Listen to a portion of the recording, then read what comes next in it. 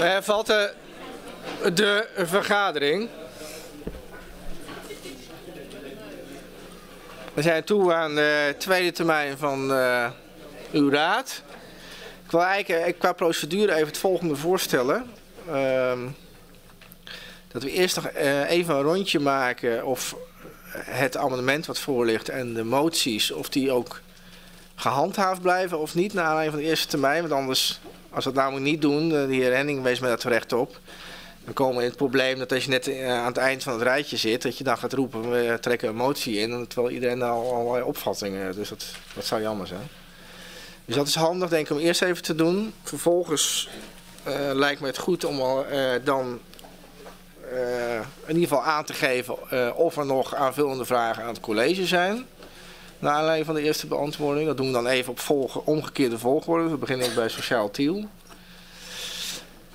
Um, en dan, uh, uh, en dan ja, wil ik, zou het mooi zijn als we een debat kunnen hebben. Elkaar kunnen gaan bevragen op de strekking en inhoud van de moties. Voor zover dat nodig is. Sommige moties zijn heel breed al gesteund. Maar voor andere moties kan ik me voorstellen dat het wel relevant is. Is dat doenlijk om het zo te doen? En dan kijken we of we dan naar besluitvorming kunnen komen. Um, maken we eerst even een rondje. Uh, dan doe ik even uh, van links naar rechts voor het gemak. Of u kunt aangeven moties waarvan u de initiatiefnemer bent. Of, die, uh, of u die handhaaft en ook in deze vorm handhaaft. Dus dan begin ik bij uh, mevrouw Under. Dat zijn moties 8 en 9. Ja. ja. ja. Uh, echt 10 minuten te rennen heen en weer. Dank u wel. Uh, motie um, 8. Um, we hebben even met de PvdA hierover gesproken. Want die had een vraag gesteld over waarom we het alleen beperken tot gas. Um, dus we willen wijzigen naar, uh, wij verzoeken het college om in plaats van gasloos energie-neutraal bouwen van te maken. Dus we trekken de motie wat breder. En ik ben al geweest bij het college, uh, want we kregen de vraag, vraag, is het te realiseren dan energie-neutraal? En ik heb geen zware bezwaren gehoord. Oké, okay, dus het wordt energie... Maar dat mogen ze zelf zo meteen... Uh, ik ga niet voor het college alvast... Uh. Waar gasloos staat, wordt energie-neutraal? Ja, energie-neutraal bouwen van nieuwbouwwoning te bevorderen. Ja, right. En 10 hand, uh, 9 handhaven. Ja, dat is duidelijk. D66. Ja, dank u voorzitter. Bij mijn uh, zoekwerk in uh, de ambtelijke organisatie naar het uh, zelf innen van boetes zijn mij de aantallen van 300 uh, PV's niet genoemd. Ik vind die aantallen inderdaad dusdanig laag dat erop nauwelijks iets te verantwoorden is uh, wat betreft het belasten van de organisatie daarmee. Dus wij willen stellen voor deze motie terug te, treden, te nemen. Dus motie 6 wordt uh, ingetrokken. Ja. Even kijken. Uh, motie 7, die handhaaft u? Ja. Dan kijk ik even naar de... Motie 6. 5. Uh, sorry, 5 stond ook nog bij u. Handhaaft u ook? Ja. P van de B. Dank u meneer de voorzitter. Wij handhaven alle moties die door ons uh, qua initiatief zijn ingediend.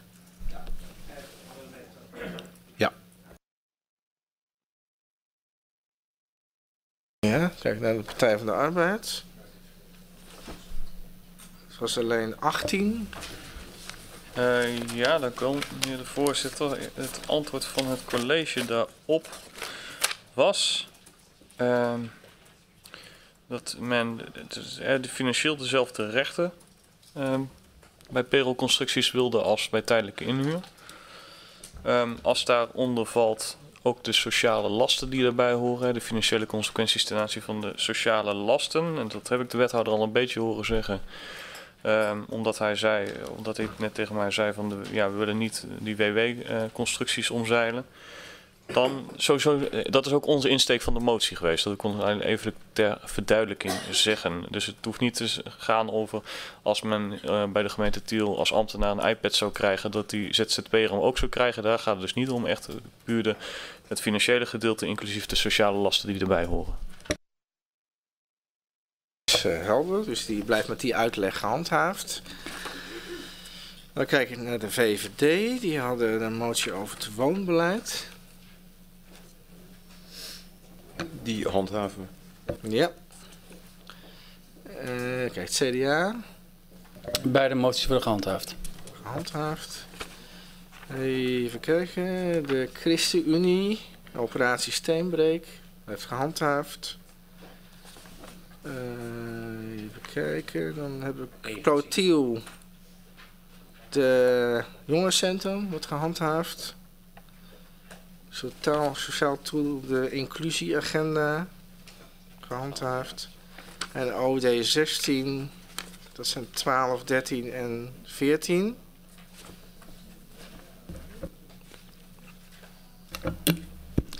Uh, de motie uh, van de geheimhouding, daar zijn we uh, tevreden met de toezegging van het, van het college. Dat er gekeken gaat worden naar de controlerende taak, hoe we die kunnen uitvoeren.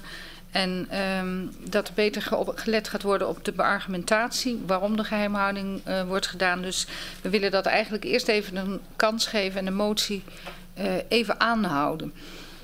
En dan kunnen we er altijd in een later stadium nog op terugkomen. Ja, uh, ja wanneer alles kan. Uh, ja, sorry, excuses. Uh, wij willen onze motie ook uh, aanhouden. Ondanks, ehm, even kijken, ehm, ja. Het jongerencentrum, hè? Bedoelt u dan? 17, ja. Van het jongerencentrum. Dan moet ik dat nog gaan zeggen? Ja, je mag het van nu zeggen. Nou ja. ja, wij willen het aanhouden, want uh, mag ik ook zeggen waarom? Ja, ter zeker, graag. Ja. ja, volgens ons zit er uh, veel kapitaal in het pand en mede daarom zijn we ook tegen de verkoop hiervan. Een andere reden is dat we denken dat het pand in de sowieso de komende jaren niet verkocht zal gaan worden. En dit ons alleen maar veel geld kost. Wij willen dan ook een, graag een, een, brede discussie hierover voeren in de commissie of in de raad. Voor de mogelijkheden ook voor een multifun multifunctioneel jongerencentrum hier. Ja, ja, dat betekent natuurlijk dat, dat hij handhaaft, de motie. Ja. Ja. Nee, aanhouden betekent dat, dat hij nu niet in behandeling is, de motie. Ja. Maar je wilt hem wel in stemming brengen, zometeen. Ja. ja. en de andere twee moties van OD 16 blijven gehandhaafd. Ja? Is iedereen uh, nog duidelijk? Dus de uh, 6 wordt ingetrokken en 14 wordt aangehouden. En 18 krijgt de uitleg zoals heer Graanse daar gaf. Ja? Right. Dan hebben we dat in ieder geval helder. Dan begin ik bij uh, mevrouw Zonneveld. Zijn er nog vragen die openstaan. En u mag natuurlijk ook meteen iets over de moties zeggen. Alles mag in één keer. Nee. Um, nee, ja, ik, uh, ik, ik heb met veel belangstelling geluisterd naar de, de antwoorden die wij gekregen hebben op de vragen die voorbij gekomen zijn, al dan wel expliciet of impliciet. Um, ik waardeer het antwoord dat ik van de heer Verspuigen gehad heb op mijn, uh, mijn pijplijnopmerking. Uh, ik begrijp ook dat alle voorbeelden onder één noemer zijn geveegd, want dat deed ik in feite zelf ook. Wat ik voornamelijk daarmee bedoelde, is dat er vaak op het moment dat er besluiten genomen worden die gaan over wat in de toekomst gaat gebeuren, dat we daar dan vooral niet al te veel uh, publiciteit aan geven. En dat reacties daarop dus inderdaad pas naar voren komen op het moment dat het beleid in werking treedt en uh, de inwoners uh, zich bewust worden van het feit wat er gebeurt. Ik denk dat het eerlijker zou zijn om dan ook gewoon op het moment dat het besluit genomen, te, genomen is, om dat ook duidelijk in de publiciteit te brengen. Jongens, let op, over drie jaar gaat dit en dit gebeuren. Want dit zijn mijn voornemens. Op dat moment is er ook een expliciete mogelijkheid voor mensen om daarop te reageren. Het andere stukje wat ik noemde zijn vooral de onderzoeken die uh, grotendeels op aanvraag van de Raad gedaan worden. Ik denk dat er daar ontzettend veel nog ergens hangen. En uh, ja, de, tijd, de veranderingen deze tijd gaan zo gigantisch snel. ik denk dat het heel erg prettig zou zijn om daar in ieder geval meer uh, overzicht over te hebben en ook wat meer controle op te hebben. Dat in dit stukje loslaten misschien niet de beste optie is omdat op het moment dat we zelf een opdracht gegeven hebben, maar we komen daar na twee, drie jaar achter, jongens, dit is gewoon niet meer actueel, kunnen wij niet uh, zo'n opdracht terugtrekken als we niet weten wat er nou allemaal speelt. Om de vier jaar komen hier gewoon allemaal nieuwe mensen. Uh, ik heb het zelf gehad dat ik er kwam. Je, je, hebt geen idee wat er allemaal speelt. Je moet zo gaan graven. En het is al een hoop werk om te gaan graven in actuele za zaken. Dus laat staan in die oude zaken. Dus ik wil graag mijn, mijn opmerking splitsen in het stukje uh, actueel besluit, toekomstige uitwerking en daar meer uh, publiciteit aan geven. En een aparte vraag: wat zit er allemaal nog in die pijplijn, wat misschien gewoon niet meer relevant is? Meneer Van Oostrom. Ja, de vraag is voor, voor, wie dan niet relevant? Kunt u dat wat toelichten? Dus voor het college, voor, voor ons, politiek? Ja. Ja, ja, op allemaal. Op een lange lijst dan? Ja. En er zijn op het moment middelen genoeg om zo'n lijst goed actueel te houden, waar wij dan eventueel inzicht in kunnen krijgen. En het hoeft ook niet uh, elke maand. Maar ik denk dat met mijn bekende voorbeeld van het parkeerroute informatiesysteem, zodat eerder hadden kunnen tackelen, was daar een besparing op geweest. Dat soort voorbeelden bedoel ik. Ja, voorzitter, kijk, we, maken gewoon per jaar honderden besluiten. Misschien wel meer dan honderden. Het is gigantisch. En uh, ja, ik denk als je dit dan zou willen, uh, dan zie ik echt heel erg veel praktische problemen. Ik, ik snap die intentie wel hoor. Soms, uh, soms denk je van ja, we, we, hebben dingen besloten, misschien had het handig zo geweest. En, en de tijd kan soms ook, ook ja, die actualiteit inhalen. Maar uh, wat ik dan zeg, van ja, dan, dan zou je toch als politiek zelf uh, heel uh, strak moeten zijn en goed moeten kijken. Van, en je kan altijd als politiek, kan je natuurlijk altijd zelf de agenda bepalen. Dus over twee jaar iets, wat we daar precies kan over twee jaar totaal iets anders zijn. Ga misschien vandaag met schoolzwemmen meemaken. Als voorbeeld. Misschien is het handig om uh, even, even te eerst even kijken of er nog een rondje... Want dit is een aanvullende vraag aan het college. Zijn er uh, andere aanvullende vragen aan het college? Dan ga ik gewoon even van rechts naar links voor het gemak. Mevrouw Roders. Ik heb uh, nog twee uh, vragen voor het college. Ehm, we hadden een vraag gesteld voor de doelen bij het gezondheidsbeleid. De wethouder heeft daar wel wat over verteld, maar heeft vooral wat verteld over, over het uh, proces en de inventarisatie. En ik heb nog steeds niet uh, de te halen doelen gehoord. Wat, wat willen we nou eigenlijk precies als Stiel uh, bereiken aan doelen? En dan kan je het hebben over milieukwaliteit, uitnodigen om buiten te spelen, veilig wonen, sociale cohesie. Um, een hele waslijst. Als je, als je geen haalbare doelen hebt, dan kan je ook niet meten of je ze gehaald hebt. En als je niet duidelijk maakt wat je wil bereiken, kan je ook nooit zeggen van onze bewoners worden, worden gezonder. Dus ik, de vraag, de concrete vraag is, zijn er doelen geformuleerd? En de tweede vraag die ik heb uh, is, uh, de wethouder zei, sociale wijkteams gaan heel veel uh, geld kosten. Dat zou ik graag uit willen leggen, want in mijn optiek uh, gaat dat met alle bestaande portalen en, en organisaties die al bezig zijn, worden ze alleen opnieuw herschikt. Dus ik zou graag willen horen waarom de wethouder vindt dat dat zoveel extra geld gaat kosten.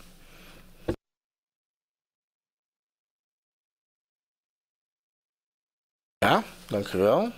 Mevrouw Joustra. We hebben aan eh, de heer Beenakker eigenlijk nog een vraag. Want wij zitten nog een beetje met de verlichting bij het uh, Tiel Centraal NS-station.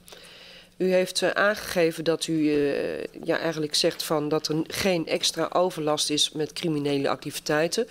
Maar onze informatie is toch anders. Dat er toch wel behoorlijk wat meldingen zijn daar van uh, overlast van daklozen, uh, veel diefstallen bij de winkel. Nou ja, goed, ook, ook andere overlastgevende situaties. En we vinden het dan eigenlijk inderdaad zo jammer dat er dan alleen maar aangegeven wordt van ja, de verlichting voldoet aan de norm. Maar het is ook, het, NS-station heeft natuurlijk een positie dat er inderdaad gewoon nauwelijks direct daarnaast gelegen omliggende bebouwing is, waardoor een controlefunctie inderdaad van de ogen van de buren inderdaad veel minder zijn. En daardoor is inderdaad gewoon ook best wel begrijpelijk van dat mensen inderdaad gewoon het zien als inderdaad gewoon een gebied wat dus heel erg onveilig voelt. Maar als het aantal meldingen dan ook inderdaad gewoon toeneemt, dan is er toch iets aan de hand. Vandaar ook onze vraag van, kan het dan toch niet goed zijn om met inderdaad elkaar te kijken om een beter verlichtingsniveau te krijgen dan de norm die er is? Dank u wel. Mevrouw Stoetervlag. Ja, meneer Melissen die attendeerde mij er zelf al op dat hij een uh, vraag is vergeten te beantwoorden. En dat betreft uh, de doorverwijzing naar de mozaïek wat betreft de jongerencoaching.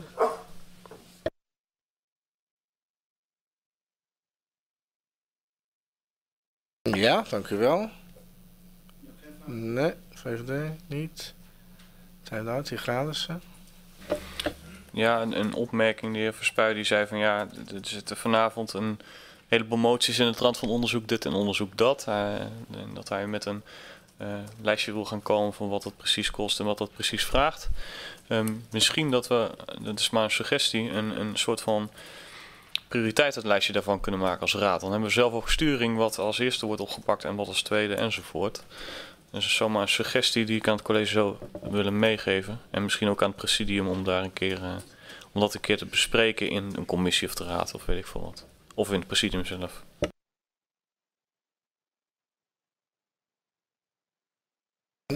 Kunt u aangeven hoe, hoe u dat ongeveer voor u ziet? Voor het presidium dan, bedoelt u? Hoe bedoelt u? Ja, hoe u dat voor u ziet in het presidium. Dan weten we wat we moeten voorbereiden, bedoel ik. Nou nee, ik wil, uh, ik wil meegeven van um, de wethouder zegt van er zijn heel veel onderzoeksopdrachten aan het college. Ah, ja. uh, maar dat kost geld en ambtelijke capaciteit.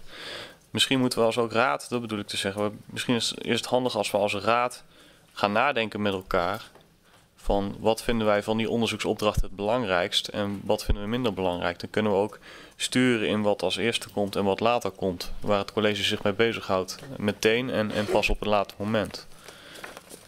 Nou ja, dat zou inderdaad, de termijnkalender was daar natuurlijk ook voor bedoeld. Hè? Maar goed, dat komt niet altijd even goed uit de verf. Dus uh, nemen we dat aandachtspunt in ieder geval even mee naar het presidium dan. Want het gaat over de prioriteitsstellingen van ons als raad. Um, ja, dat was nog een aanvullend punt. Even de, ja, de heer Van den Burg. Ook nog wat hoor. Um, ja, ik heb uh, geen vraag, uh, maar wel een, uh, een antwoord aan de heer Melissen. Betreffende, hij heeft in feite de bal teruggegooid. En ik leg hem dan hier weer straks een keer in het midden. Uh, dat gaat over het parkeren binnenstad. Daar hebben wij uh, de vraag voor gesteld van uh, of we daar met het, een discussie over zouden kunnen voeren. Wij zullen als partij met een initiatiefvoorstel komen. Dat doen wij niet vanavond, maar er zijn er tijd om daar de raad uit te nodigen of een commissie om daar inhoudelijk nog verder over te praten. En dan heeft mijn buurvrouw die heeft ook nog iets.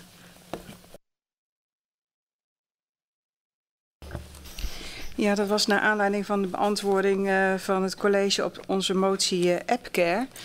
Um, ik denk dat uh, de motie niet helemaal goed begrepen is. Het is niet zo, als je het hebt over het inzet van WhatsApp binnen een gemeente, dat er een grote groep wordt aangemaakt. Uh, dat zou ook niet best zijn inderdaad, want dan zou je om een havenklap uh, berichtjes krijgen. En dan zit je ook met allerlei privacygevoelige informatie die dan binnen een grote groep uh, verspreid wordt. Maar het is juist de bedoeling dat, dat het een communicatiemiddel is van de burger naar, naar de gemeente. Dus een burger kan een nummer gebruiken om een berichtje te sturen, om specifiek de vraag te stellen hoe laat is morgen het, het loket open voor huppelen Of waar moet ik mijn paspoort aanvragen? Of kunt u mij vertellen uh, waar ik op de website uh, dit of dit uh, vind? Dus het is niet zo dat er een grote groep wordt aangemaakt. Maar het is feitelijk een communicatiemiddel waar burgers op het moment dat het hen het beste uitkomt, of dat nou uh, uh, ochtends vroeg is of s laat, een berichtje naartoe kunnen sturen, eventueel vergezeld met een, met een foto. eigenlijk als, als het ware als je, zoals je ook een, een mail gebruikt. Dus het is absoluut niet de bedoeling dat er één grote groep gemaakt wordt. Heer van Oostrom. Ja, toen ik u hoorde uh, praten, dacht ik van ja, je kan ook een e-mail sturen. Hè? Dat, was, dat was de eerste reactie die ik had, of die wij hadden eigenlijk, moet ik zeggen. Kijk, op zich vind ik uw, uw idee hartstikke sympathiek. Alleen waar ik wel een beetje mee zit, ik ben benieuwd hoe u daarover denkt, is van ja, wie gaat dan dat, dat WhatsAppje beantwoorden? Je kan wel een WhatsApp sturen van uh, uh, s'avonds om, om 11 uur van de laatste ochtend het, gemeentehuis open. Maar ik denk niet dat u om 5 over 11 antwoord krijgt. Dat is mijn punt. Um, nou, dit was ook alleen even een toelichting richting het college. Om hen nog even de tijd te geven om erover na te denken of dat het dan misschien wellicht wel meegenomen kan worden uh, in het onderzoek rondom de inzet van social media. En ik zou ook echt aanraden om even bij de gemeente, wat was het?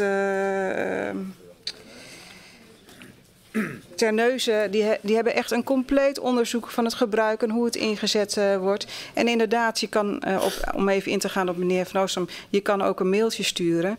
Maar uh, in de tegenwoordige tijd wordt gewoon ontzettend veel met WhatsApp gedaan. En de burgemeester gaf het ook al aan, dat het een communicatiemiddel op maat moet zijn.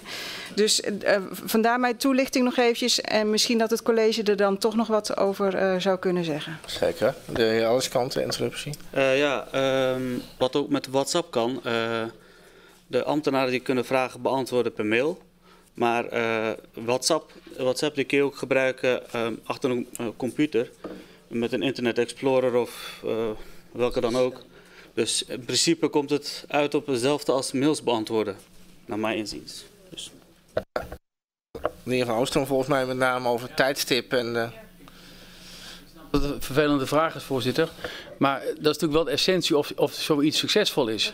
He, want je kan natuurlijk op heel veel verschillende manieren kun je een gemeentehuis uh, ook via, uh, ja, via internet, via weet ik veel, WhatsApp, uh, Twitter, dan ga zo maar door. Maar het gaat natuurlijk wel om dat je dan wel de antwoorden krijgt. Want anders ga je iets, iets in leven roepen waar geen antwoorden gegeven worden. Dan, dan ga je juist de inwoner ontzettend frustreren, denk ik.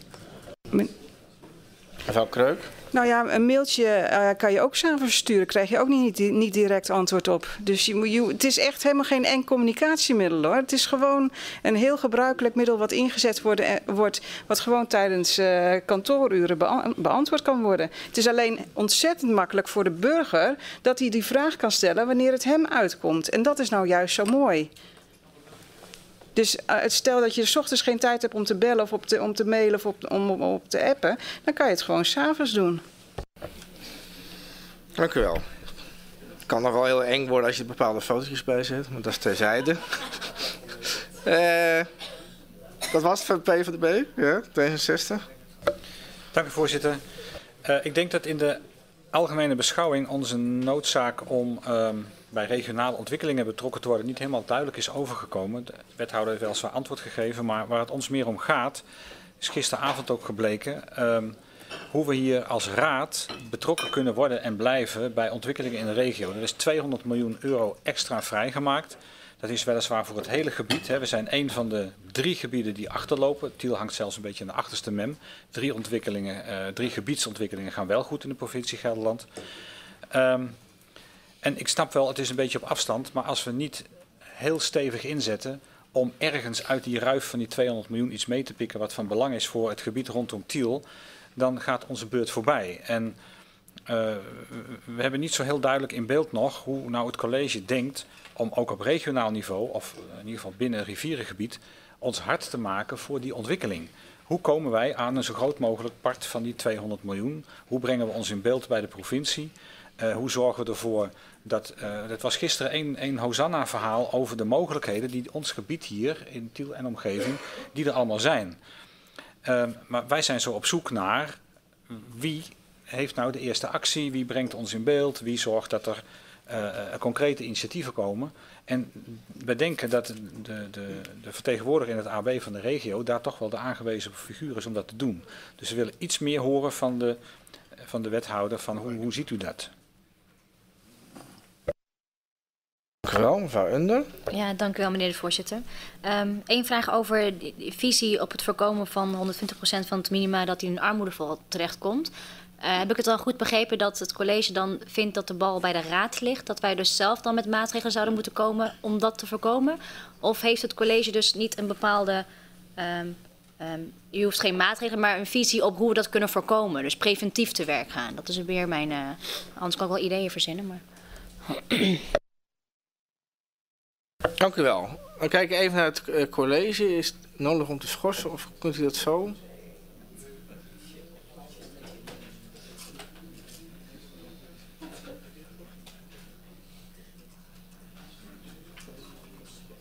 Even, even kort schorsen.